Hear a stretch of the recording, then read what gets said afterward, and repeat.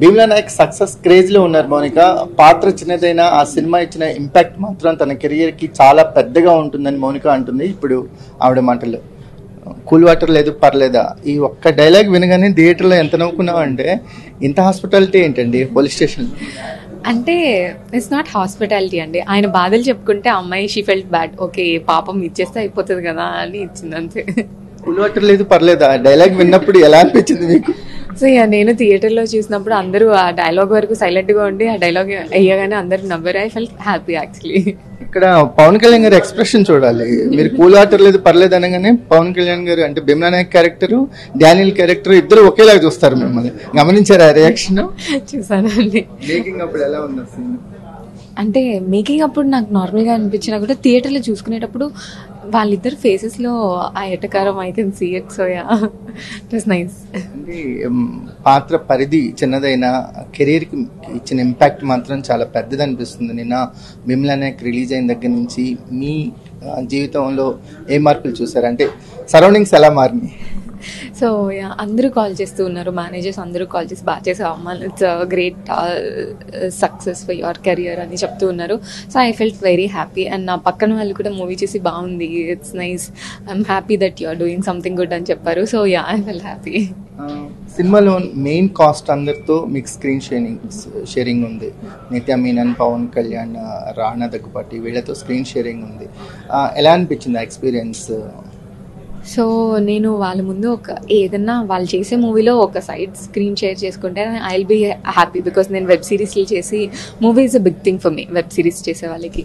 So వాళ్ళ మూవీలో ఒక చిన్న క్యారెక్టర్ చేసిన will be a big thing for me అలాంటిది వాళ్ళతో పాటు ఇంతమంది పెద్ద పెద్ద ఆర్టిస్టులతో అండ్ ఇంత మంచి డైరెక్టర్తో త్రివిక్రమ్ గారు చూస్తున్నప్పుడు యాక్ట్ చేయటం అనేది it's actually my dream come true so yeah ఈ క్యారెక్టర్లో ఒక ఇన్నోసెన్స్ ఉంటుంది. అంటే ఆడియన్స్కి అయ్యో పాపం అనే ఫీల్ అనేది చాలా ఈజీగా కలుగుతుంది మీ క్యారెక్టరైజేషన్ చూస్తున్నప్పుడు.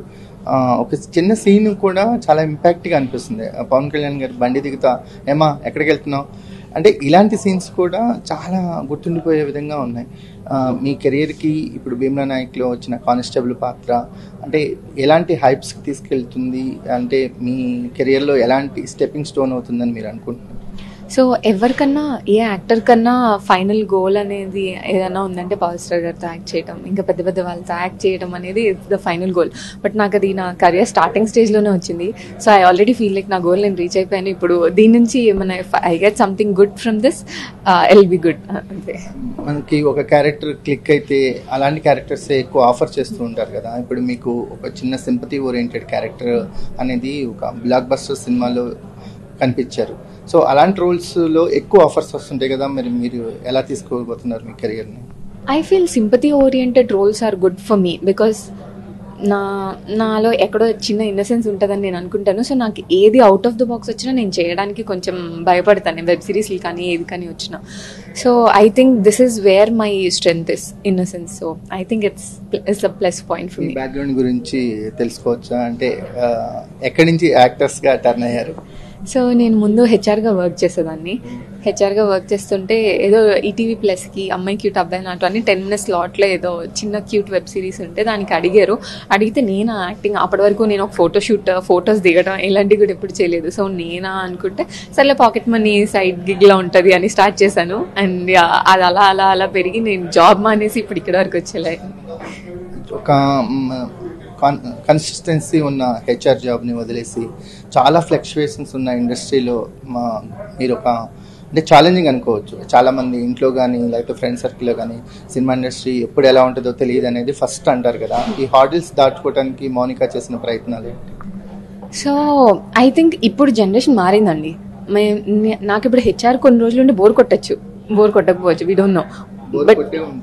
Bore కొట్టచ్చు. ఎందుకంటే అది ఒక ప్లేస్లో కొట్టిందా కూర్చొని లేదు. ఎందుకంటే నేను అప్పటికి త్రీ ఇయర్స్ జాబ్ చేశాను. సో ఇంకా స్టార్టింగ్ స్టేజెస్లో ఉన్నాను కాబట్టి I didn't feel that but obviously ఒక ప్లేస్లో కూర్చొని చేసేదంటే you will feel that bored and ఇక్కడ if you have something very glamorous and very entertaining you will feel that connection to go there and work there so yeah అది నాకు starting స్టేజ్లోనే వచ్చింది.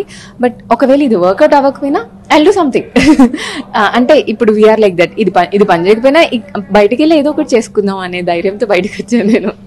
ఎలా అనిపిస్తుంది ఇండస్ట్రీ ఇప్పుడు భీమ్లా నాయక్లో క్యారెక్టర్ తర్వాత? మీరు ఏ నమ్మకంతో అయితే ఇండస్ట్రీకి వచ్చారో దాన్ని త్వరగా రీచ్ అయ్యారని మాకు అనిపిస్తుంది. ఎలాంటి వైబ్స్లో ఉన్నారు? సో అదే అండి. Um, ఇది అందరికీ లాస్ట్ స్టేజ్ అవ్వచ్చు but this is my first stage నాకు ఫస్ట్ స్టేజ్లోనే ఇంత మంచి ఆపర్చునిటీ రావడం it's actually very great and and so yeah I feel very grateful to be doing this